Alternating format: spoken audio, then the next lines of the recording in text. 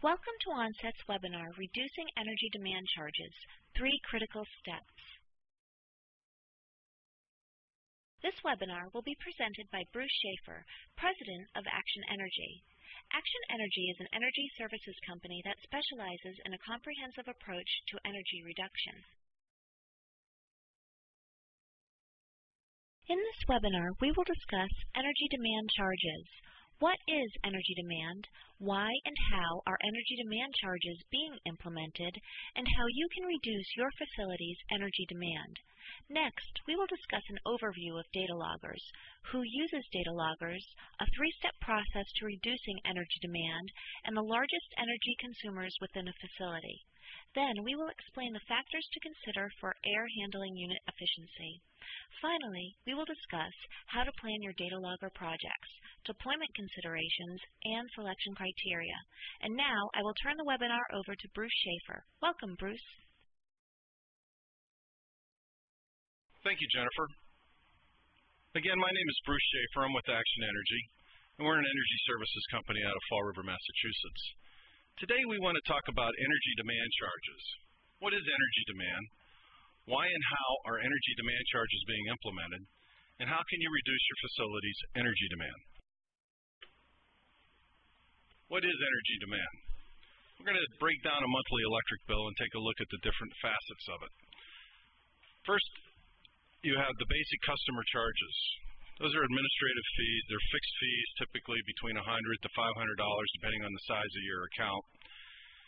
And they can also range uh, much higher for uh, much larger accounts. Energy used.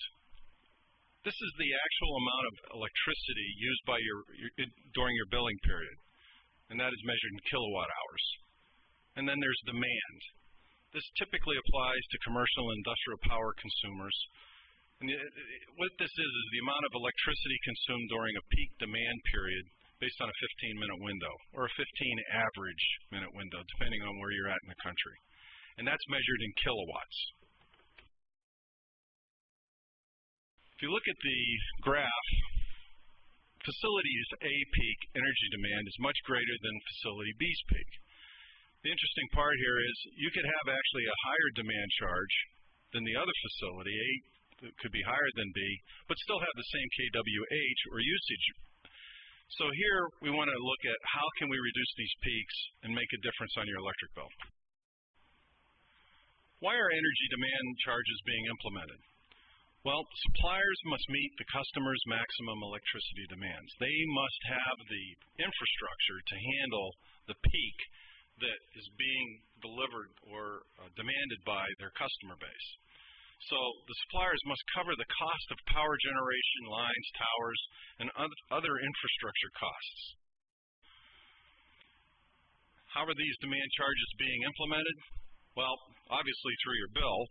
These charges apply to your commercial and industrial customers of electricity, and the amount of electricity consumed during the peak demand period, which is again based on that 15-minute window.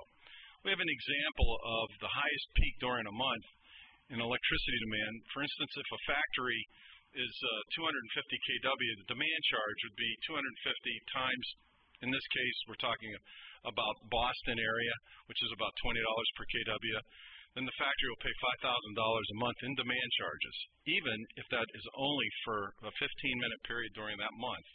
That demand charge will be 5000 Offsetting rising demand charges.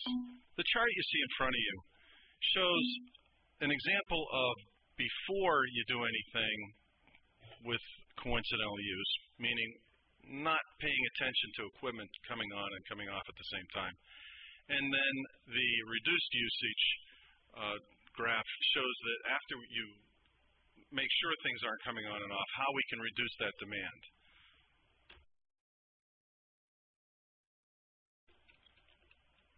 Offsetting rising demand charges. You should have a clear understanding of the energy demands of all your machinery. That includes from chillers to air handling units, pumps, fans, anything that consumes large amounts of electricity, especially in your facility. Know when the electricity usage is highest. What time of day does that happen? Um, make changes and updates or scheduling adjustments.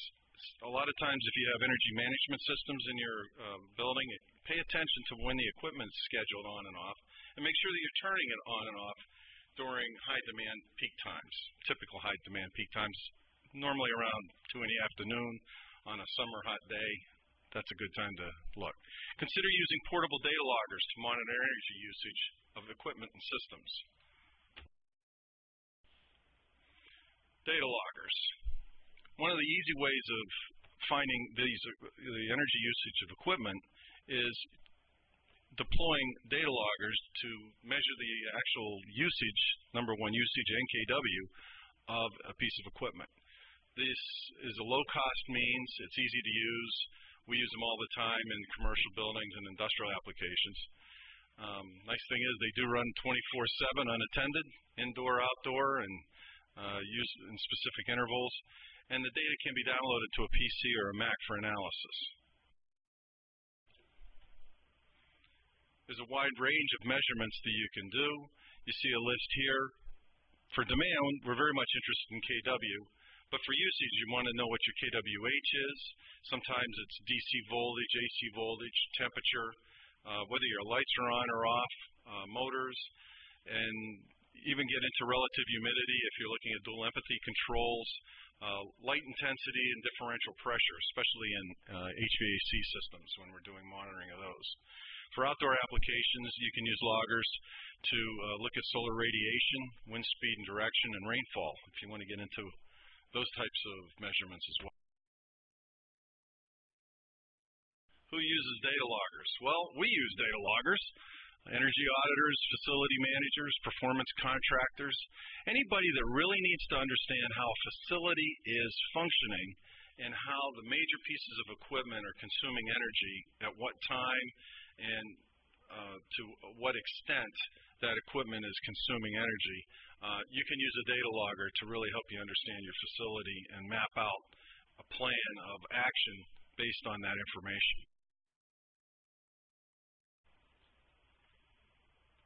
When we employ data loggers, we use a three-step process. First, we want to measure the efficiency of your system and equipment. We call this the base case. Determine what your energy consumption for your piece of equipment is.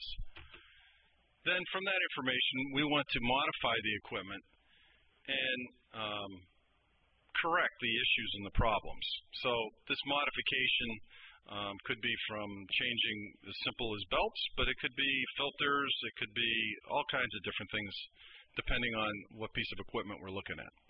And then we want to verify the equipment's efficiency after we've made the modifications. Is it really doing what it's supposed to do? Very important, because many times that gets overlooked, and if you don't make sure it's working correctly, you still have the same issues going forward.